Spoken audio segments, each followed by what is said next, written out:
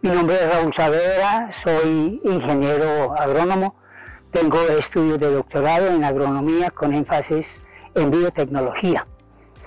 Estoy trabajando como asesor en piña y en aguacate en el proyecto Regalías de la Universidad Nacional de Colombia, sede Palmira. El objetivo del proyecto está orientado a controlar la variabilidad interna del cultivar o utilizar esa variedad para mejorar las características de la piña M2.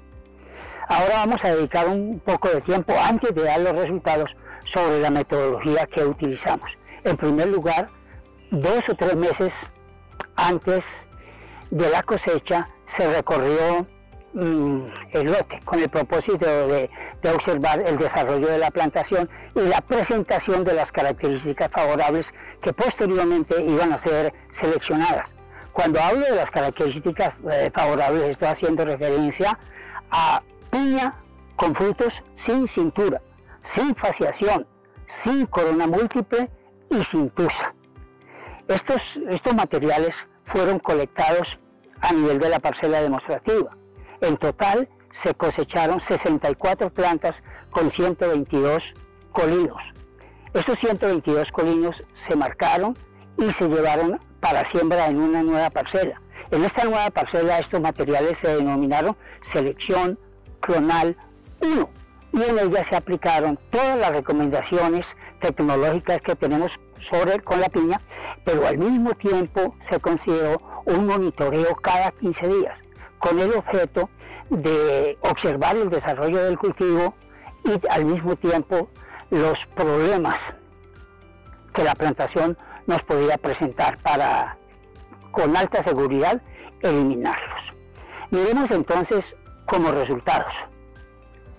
Se obtuvieron 48 plantas con defectos evidentes, es decir, plantas que debían eliminarse.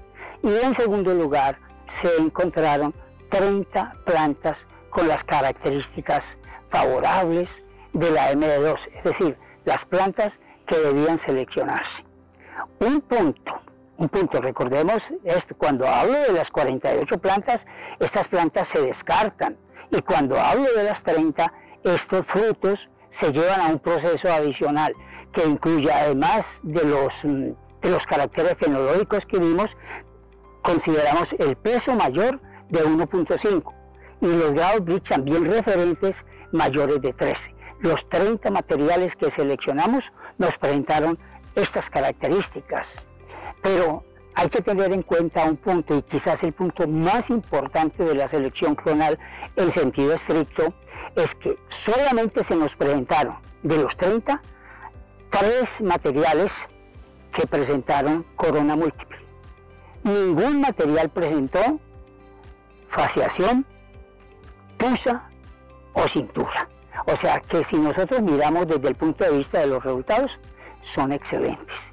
Y podemos concluir que la selección clonal en sentido estricto es quizás uno de los métodos más eficientes para eliminar genes que en un momento o mutaciones que en un momento están asociadas a caracteres indeseables como son los cuatro que, que enumeré anteriormente.